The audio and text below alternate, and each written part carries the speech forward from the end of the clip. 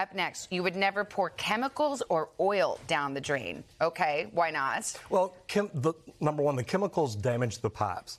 A lot of times people want to pour the chemicals in to clean it out because they've poured oil after cooking. Things like that should never go down the drain.